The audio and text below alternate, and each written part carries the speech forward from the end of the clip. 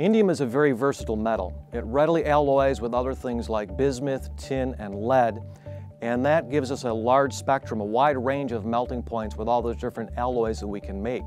And a lot of those alloys are used as a solder, and indium-based solders are very compatible with thick gold metallizations.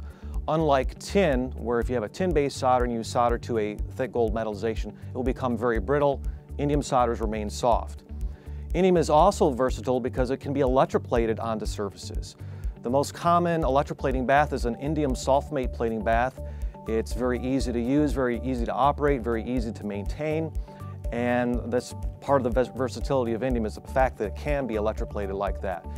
It does interact with copper. Uh, that can be a blessing or a cursing depending on which way you look at it. It does form indium copper intermetallics, which are kind of stiff and brittle.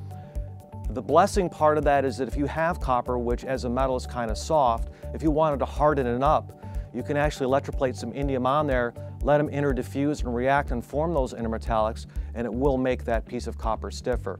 So again, indium is a really versatile metal. If you're interested in it, please contact us at askus at indium.com.